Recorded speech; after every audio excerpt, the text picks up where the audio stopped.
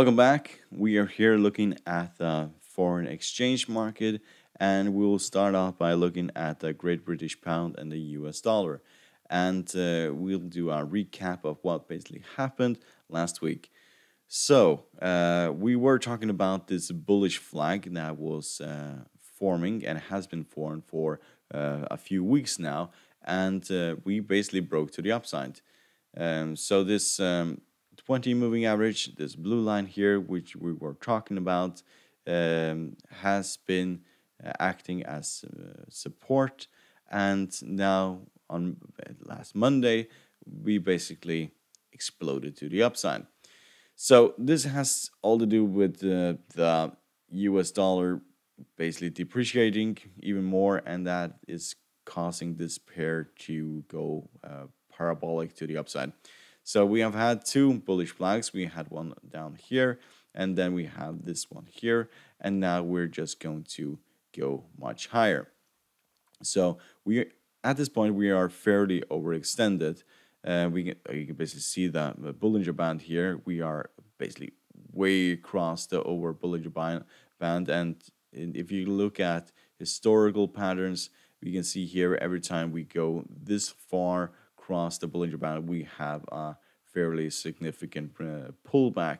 The same goes for here. We have these um, two green granite candlestick and these uh, two red candlesticks, and every single time we go basically past this Bollinger Band, this significantly, we have a pullback. So expect on Monday that we'll have a fairly uh, uh, um, significant pullback, but this is not a sign of um, of shorting this market. Um, probably day traders, scalpers are going to uh, take profit from this uh, fall on Monday, uh, but this is a market that will go higher, um, and the right uh, the right tactic here is basically buying the dips. So expect this market to go around half of this uh, candlestick, which is 1329, uh, something like that, and um, and then it will continue higher. So if you look at the RSI, it's pointing to the upward trajectory. is not overbought, not oversold. We have crossed the signal line for the MACD. The same goes for the uh, stochastic. Uh, all of these indicators are fairly uh, bullish, but due to this historical uh, pattern of every time this uh, crosses the over Bollinger Band and have a pullback, expect a uh, pullback on Monday. So at this point, we, if you look at uh, where we go from here, we can see that we have crossed this resistant area. So the next real resistant area is all the way up here at 1452 um, after that, we have to go all the way up to here, which is 1435. Uh, so if we go past this, uh, res uh, resistant area of 1350, uh, then we'll go all the way to this resistant area of 1333. Um, yes, so if you look at the US dollar yen, uh, we had a massive pullback on on Friday. So I remember um, last time I did this video, I said that we would you know, we had a few resistant um, uh, these moving averages that we were behaving as resistant, and that the most likely pullback will become at this green area here or green moving average, which is the to the 100 moving average. And uh, the reason why I said that is because historically, uh, the 100 moving average has been significant uh, resistant, um, and that worked perfectly. We hit the um, this 100 moving average, and then we basically exploded to the downside. It fell all almost well uh, over uh, one and a half percent, and that is really really nasty candlestick. Uh, if we look at the, the the technical indicators, we can see that MACD is about to cross the signal line, indicating that we'll go lower. At this point, we'll probably go all the way down here at to 104. Um, we are not uh, oversold at this point, so we'll probably go uh, significantly lower. We can see that we hit the lower Bollinger Band, uh, and we did not have um, a, significant pullback. We did have a pullback, which is usual, but it's not like we had a pullback to a half here. Uh, we had a, a minor pullback, which is an indication that we will go lower. We'll probably see something like this pattern play out, um, and we will most likely uh, retest these lows of 104. And if we break that, then we'll go much lower. The next resistance um, after this is basically all the way down here at 101. Um, the stochastic is also, we are about to cross this uh, signal line indicating that we will will go lower from here. So not a market that you should buy at this point. Um, uh, I'm shorting this market um, because that's where we technically are going gradually, but we're going down to this area at some point uh, this year. So if you look at the U.S. Uh, the euro and the U.S. dollar, it's very similar to the to the Great British Pound, the U.S. dollar. We have, we have a few. Uh, back in June, we formed this uh, bullish flag and broke to the upside. Now we're forming another bullish flag, and we still we haven't broken to the upside yet. We are running into resistance in this area of 1190, um, but uh, because the US dollar is depreciating so much and it, that it will fall even uh, more uh, than yeah in the next uh, few weeks and probably also months uh, due to the uh, due to the, the actions of the Federal Reserve, then this market will go higher.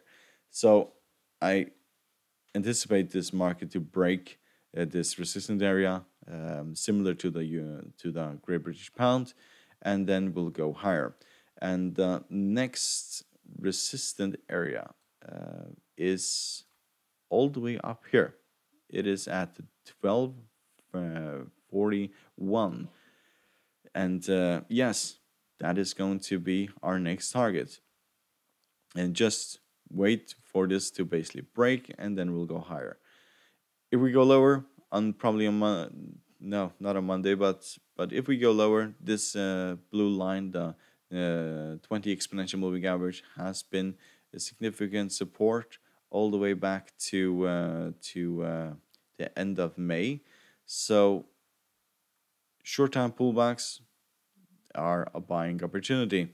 We haven't even gotten close to the uh, 40 exponential moving average, uh, not alone, or even the 50 moving average. So uh, this um, blue line has been fairly reliable, and uh, if we get close to that, that is a buying opportunity.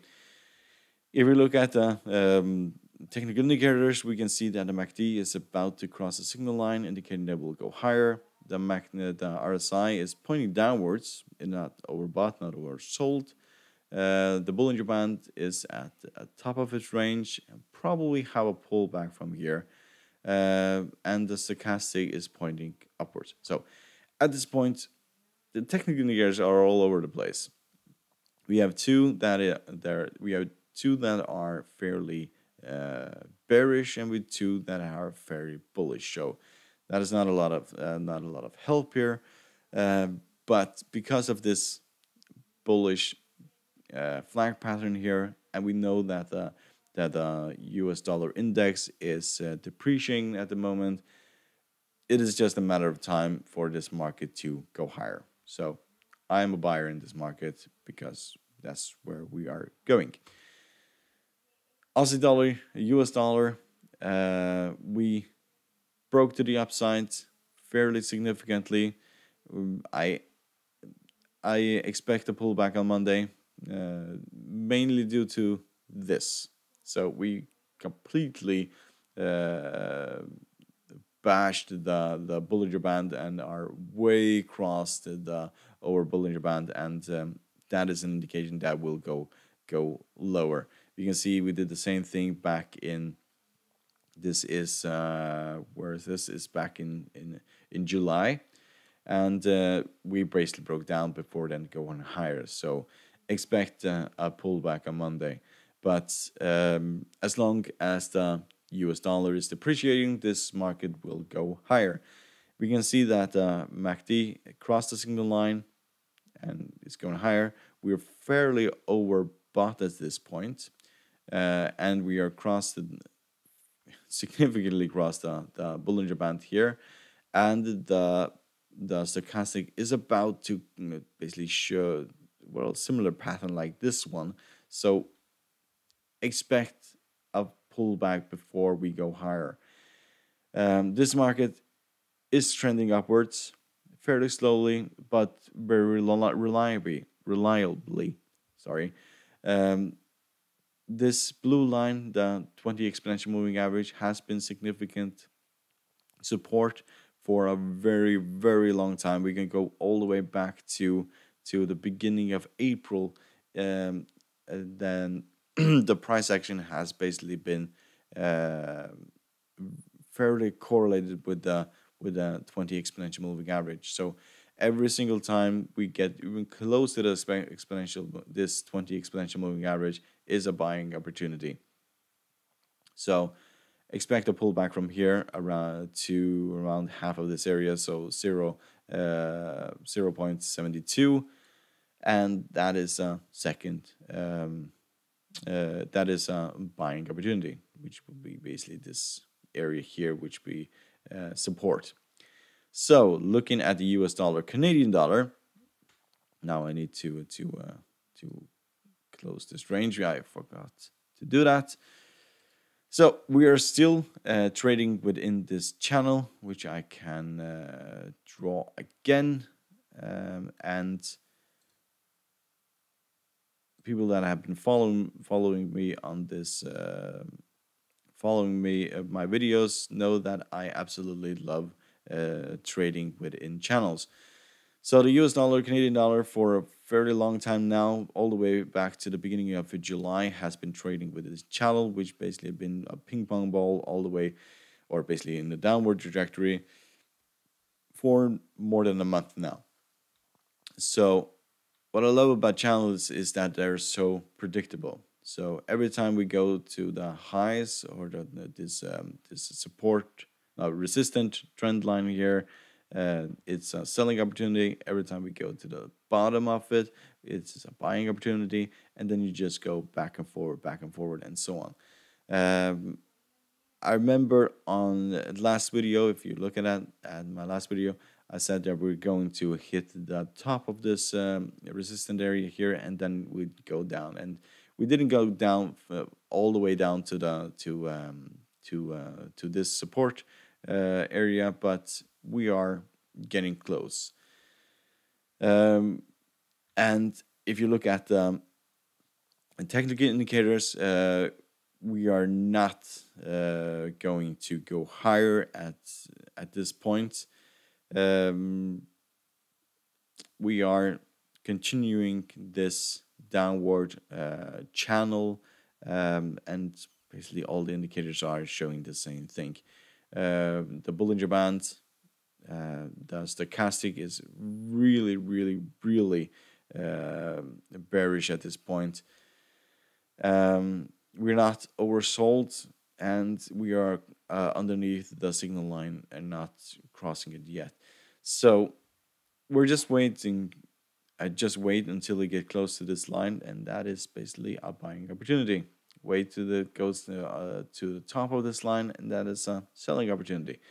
That's why channels are fantastic to trade, fantastic fun, fantastic reliable, and and so on. So. Uh, if we were to break through this um, this uh, support area here, then we'll go significantly lower. I don't really have it on my chart, but probably yes, we have it here. This will be probably the, our target of uh, 1294. Uh, um, until then, yes, uh, as long as we're trading this channel, then then that is gonna be uh, my tactic, uh, buying and selling. Of course, if we break uh, the top of this, then we will go higher from there. So I hope you find this uh, video uh, helpful. You're welcome to support our channel by clicking the support button, subscriber button, I mean, uh, the like and the bell button if you want to see our newest videos. Um, good luck and thank you very much.